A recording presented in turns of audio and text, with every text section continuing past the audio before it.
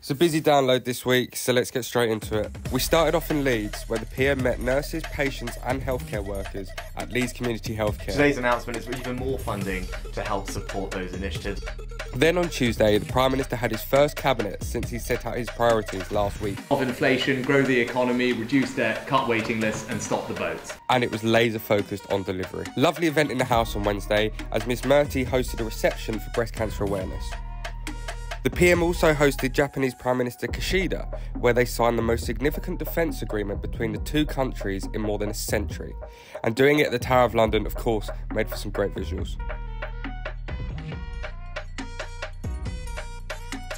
Then we made our way back up north, this time to Scotland. I loved visiting Cromarty Firth Freeport, one of the new freeports we've established in partnerships with the Scottish Government to deliver on the PM's promise of economic growth all over the UK.